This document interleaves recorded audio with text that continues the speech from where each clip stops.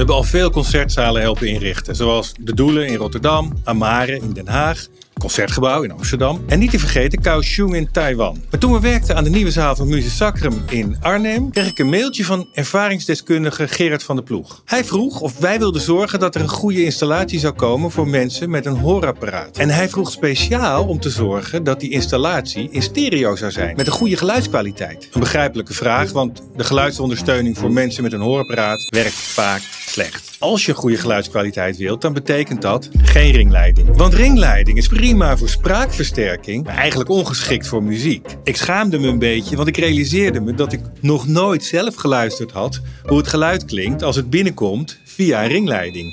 Dat viel inderdaad niet mee. Nou schrijven we al heel lang andere installaties voor.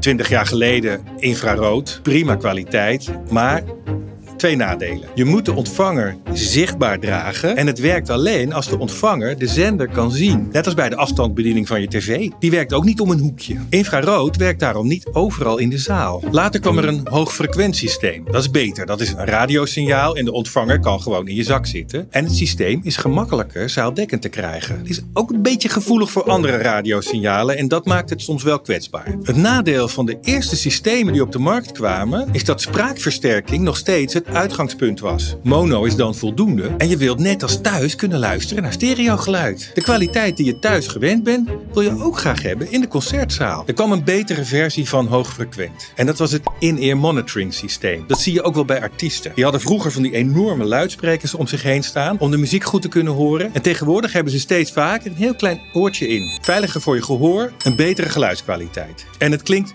geweldig. Is ook best een opgave voor de medewerkers. Niet iedere bezoeker kan met zo'n systeem omgaan en niet iedere medewerker van de garderobe is dan in staat om te helpen. Tegenwoordig kan het publiek ook gebruik maken van een appje, als de zaal daar tenminste een voorziening voor heeft. En er zijn al een paar concertzalen, helaas alleen in het buitenland, die dat nu al toepassen. En de ervaringen zijn heel positief. Bezoekers kunnen het geluid dan ontvangen via hun eigen smartphone. En ze hebben alleen nog een koptelefoon nodig om de muziek te horen. Goede geluidskwaliteit, eenvoudig in het gebruik. Is dit nu reclame voor zo'n appje? Nee, dit is een pleidooi om aandacht te schenken aan alle bezoekers om iedereen welkom te heten. En om te zorgen dat de bezoeker merkt, er is aandacht voor wat ik belangrijk vind. Gewoon simpele gastvrijheid voor iedereen dus. Laten we daar nou goed bij kunnen helpen.